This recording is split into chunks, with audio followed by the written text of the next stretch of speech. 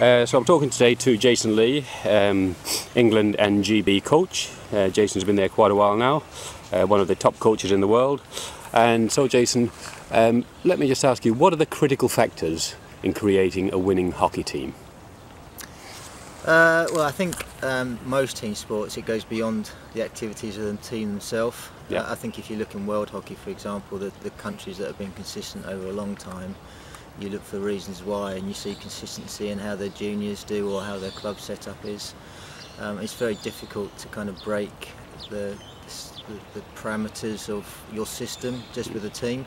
I think GB and England hockey have done a pretty decent job in the last cycle to kind of break the standards of, of uh, particularly how our juniors have been doing. Um, and that's been really with looking at the odds and playing playing a really good odds, you know, playing our game and uh, trying to make the most of what we've got in our strengths and uh, limiting our weaknesses. But same with any high performing group, um, it takes a bit of strategy, a vision for what you want to achieve, lots of work, and uh, continually analysing what uh, what you're doing and how you're trying to achieve. Mm. Uh, in the modern game, how important is it to have a specialist drag flicker?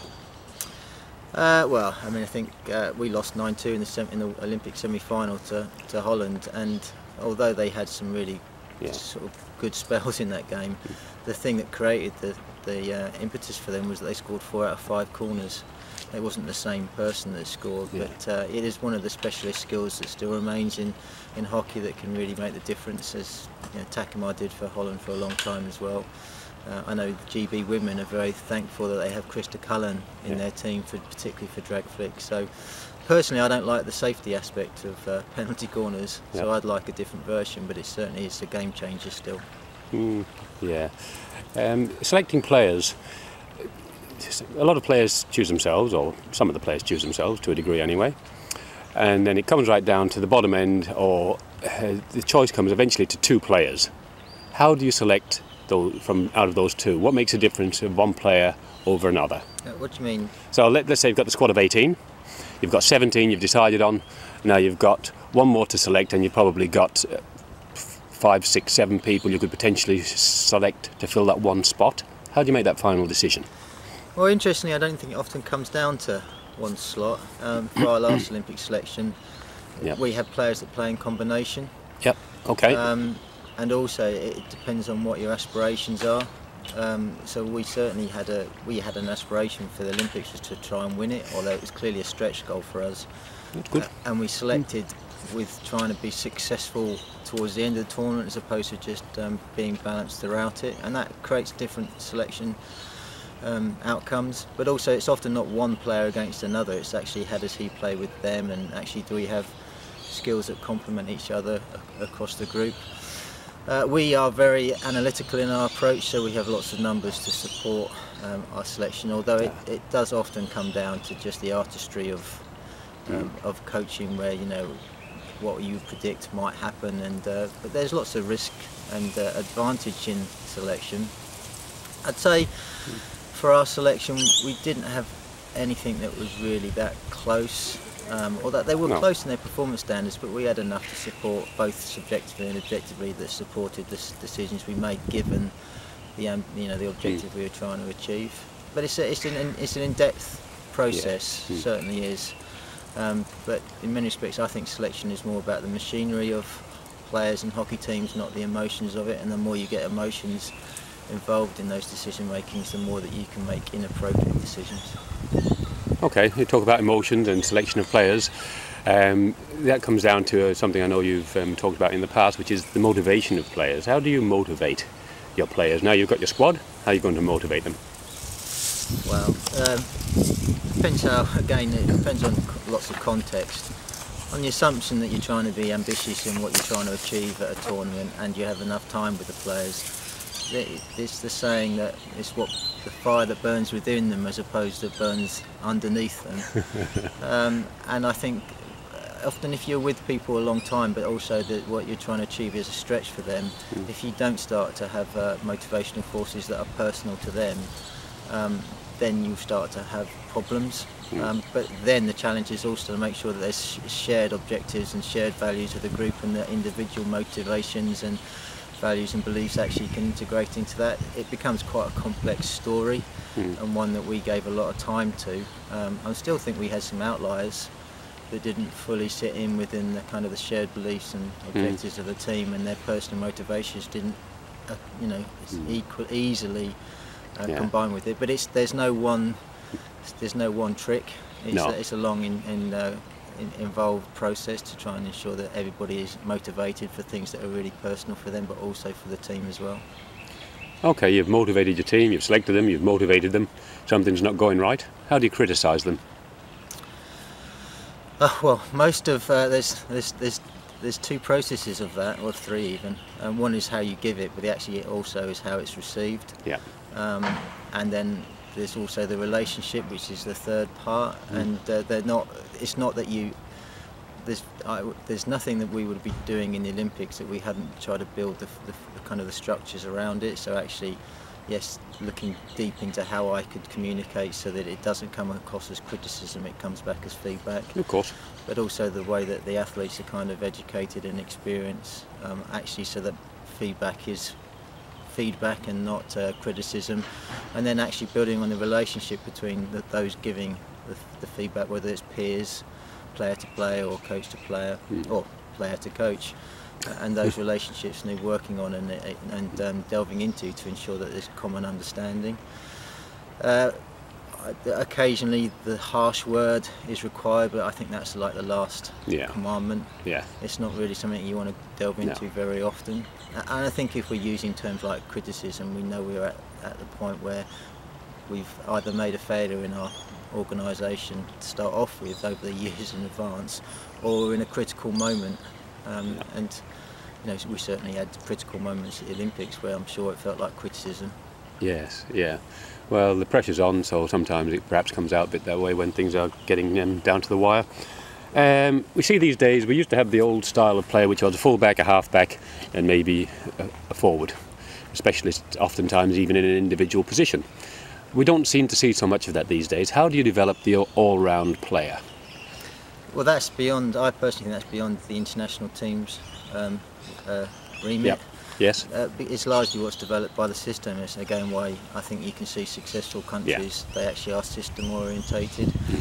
Um, so if you just have a fullback playing fullback, then they just tend to have they exemplify the, the specific skills of fullback. When actually, when you get to international hockey, Yeah. um, it's it's very a successful player sh- it should ideally be able to play equally in any position. Well, they still have a little bit of a tendency for one skill above another, or more experience means in one area, so they can read the game better. But it's, it's a system process. Yeah. Um, you know that we don't pigeonhole people just to be in one position as they're developing, so they get a broader experience. Um, it's interesting in in the UK that we have less hockey players that were previously footballers. Yeah. And, I, and I certainly think we're starting to see that they have a, a, a less advanced game understanding as they come into international hockey. Interestingly, though, they tend to be more tennis player or cricket player hockey Yeah. players, Yes. and uh, some of their core passing skills are improved clearly as a consequence of, of that as they experience. But in terms of a system, we want to give them a broad education, so it's not Mm. position specific. Okay, we talked before about um, short corners. During the game, we constantly see the attacking short corners reviewed. The word comes out from the bench for every top international team. We see this. Do you review the defending short corner live during the course of the game and send out instructions as to any changes that should be made? Uh, the penalty corner defence is reactionary. Yep. so we can't really do much to to call that during a game uh, unless we see a consistent pattern. But organised countries Mm. at the level Yeah. we're we've been playing at, I, I assume like we do, you work hard to make sure there isn't a consistency of pattern that can be read. Um, but we do review penalty corner defence as much as we review penalty corner attack. It's just that we can't impact on a game in penalty corner defence the same as we can um, on with penalty corner attack. Okay. When a player receives the ball, what's the first thing they should do?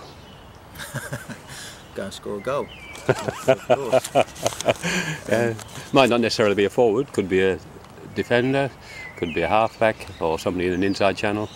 Yeah, well, it, it, it's so complicated. I'm sure Yeah. you understand that. I mean, part, you know, we build it down from the, the, the basics. So we're trying to win the game. We always Yes. try to win a game. I, I, I think sub, subconsciously, some countries actually don't have that as their ultimate outcome Okay. um, because you can see how their tactics are. That it's slightly uh, different than that. But we certainly have, as, soon as, as long as I've been involved, it's Yeah. we have a winning mentality. And that does drive everything, every Mm. single action. Uh, it's why we sometimes get horrible beatings, but it's also how we sometimes come back from games. It is partly why we struggle sometimes when the result's slightly unusual through the course of a game. But um, you know, we're led by that. We try and win games, and that mostly means scoring goals with a second emphasis of not conceding, Yes. and then things lead from there. Okay, so just following on from there then, an attacker receives the ball, so is it up in the forward quarter of the field? Do you have any rules about when he should take on the defence or when he should lay the ball off? We have lots of um, small unit play rules, Yeah. um, and we try and ensure that everybody has a common understanding so that on every instant they have two or three options. They know where the pass option is going to be offered, they know where the dribble option is, and they know where the, the path space is going Yeah. to be created. Yeah. Um, and we do lots of drills to ensure that that gets repeated and so that they have a subconscious understanding of what's going to be happening. Final question.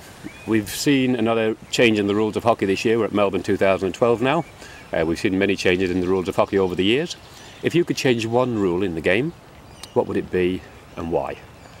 Oh, So many, so many rules. I think we're blighted in our game at the moment by an inconsistency of approach. Mm. So there's lots of rules that on their own I think have, me- have merit, but they tend to be contradictory to other rules and other inter- inter- interventions we've had in the game. Um, I mean, overridingly, I'd like us to have a statement of what we're trying to actually achieve by through, for our game, so that everything can have a, you know, follow along a, along a consistent strategy Mm. and vision for the game. But if you're asking a specific rule, it seems unusual that we can't play the uh, the ball above our shoulder anymore. We can when there's a shot on goal. Uh, I, I can't see many benefits for that. Um, I'd like to change how we have the penalty, the circle free hit played into the circle because I certainly think that undermines the attacking play of a lot of teams. So how would you change that? well, I thought when they said you couldn't pass into the circle, I thought that could be an easy um, change, just having the umpires have an interpretation that basically Yeah. started to establish that you don't play it in with any pace or aggression. Yeah. Um, and a lot of our rules in our, our sport actually are interpretations and you won't find them written Yeah. down. They just become a Yeah. common understanding and I, I felt like we could have established that just by umpire interpretation, creating a common understanding. Hmm. Jason Lee, good luck with the rest of the Champions Trophy and thank you very much for your time. Thank you.